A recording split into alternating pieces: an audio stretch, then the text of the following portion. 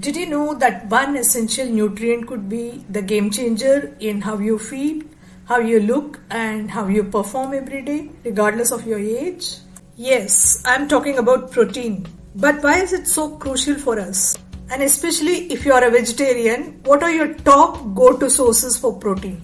Stay tuned as I am going to dive deep into the remarkable world of proteins how much of protein we need on a day to day basis for maintaining a good health, and what happens to our health if we don't get enough of protein or if we go overboard with protein. Hi, this is Meghalatha Desai. If you're here for the first time, please subscribe to my channel and hit the bell icon to get notification when I release a video on health related topics. Now let's start with the basics. Protein is often called as the building blocks of life. And why it's called so? Sure, for good reason, right? Let's see what it is. It's crucial for muscle repair, hormonal function, and it even supports a healthy immune system. But wait, its role doesn't end there.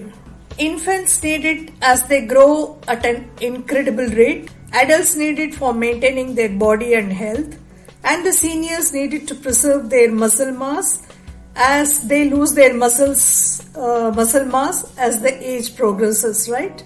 So protein is so so essential for humans across all age groups. Now let's get bit more specific okay? What exactly does protein do for us? For starters it helps in tissue repair and muscle growth. Think of it like the repairman of your body fixing and building wherever necessary. It also plays a significant role in hormone regulation. Hormones are your body chemical messengers and protein contributes to their production. This includes crucial ones like insulin, which regulates blood sugar, and growth hormones.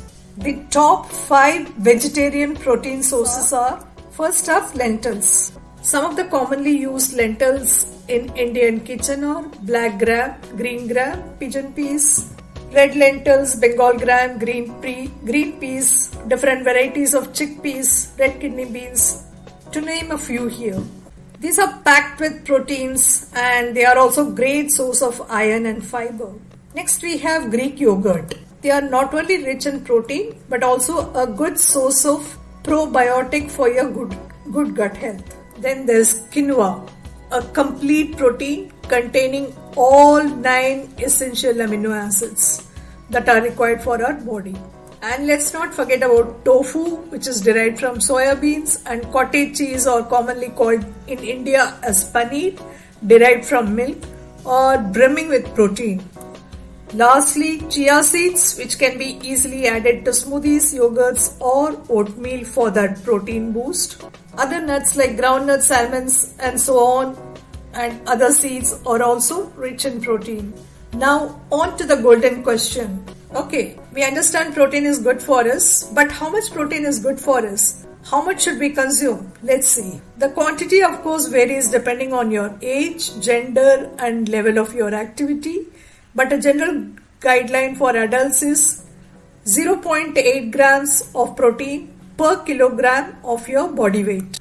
That is to say, if your body weight is say 70 kgs, your total requirement of protein is roughly 56 grams to 60 grams per day.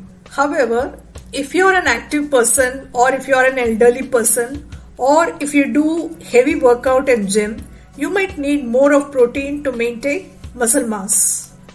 In such cases, it's advisable to take the advice of your nutritionist to understand your need. Okay.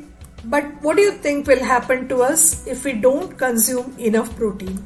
Protein deficiency can lead to muscle wasting, weakened immunity, and even hair loss. Since muscles contribute to the metabolic rate, a decrease in muscle mass can lower the basal metabolic rate, making it more challenging to maintain or lose weight. Protein plays a role in glucose metabolism and inadequate protein intake may contribute to insulin resistance. Insulin resistance is a key factor in the development of metabolic syndrome, a cluster of conditions that increase the risk of heart disease, diabetes, and stroke. Proper protein intake can help regulate blood sugar levels and support insulin sensitivity. Proteins are involved in the synthesis and regulation of hormones. Hormones play a crucial role in various body functions, including metabolism, mood, and reproductive health.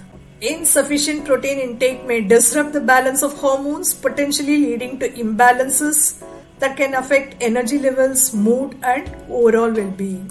Protein intake influences the hormones leptin and ghrelin, which are involved in appetite regulation. A lack of protein may impact the body's ability to signal satiety. Such satiety is a sense of feeling full in your stomach and control appetite, potentially leading to overeating and weight gain, factors that can contribute to metabolic syndrome. Adequate protein is crucial for the production and conversion of thyroid hormones, which play a role in regulating metabolism. Thyroid hormones influence the body's energy expenditure, and disruption in their synthesis can impact metabolic function. On the flip side, excessive protein intake, especially from animal sources, comes with its own risks, such as kidney strain and increased cancer risk. Interestingly, not everyone should consume high level of proteins. Individuals with certain kidney diseases or those with allergies to specific protein sources need to be really cautious before consuming protein. Individuals with pre-existing kidney conditions should consult their healthcare provider regarding their protein intake. Always seek personalized advice if you have specific health concerns. So to summarize, protein is an indispensable part of our diet, crucial for everyone from the youngest to the eldest. So choosing the right sources and consuming the appropriate amount is key to a healthy life. If you found this video helpful, don't forget to like, share and comment below with your favorite vegetarian protein sources. You may also feel free to raise your queries regarding protein if you have any in the comment box. Your interaction helps me to reach and educate more people. Remember, taking care of your body by providing it with the nutrition it needs is the best investment you can make in your life. Please remember to subscribe to the channel before you leave the video. Until next time, stay healthy and keep thriving. Thanks for watching.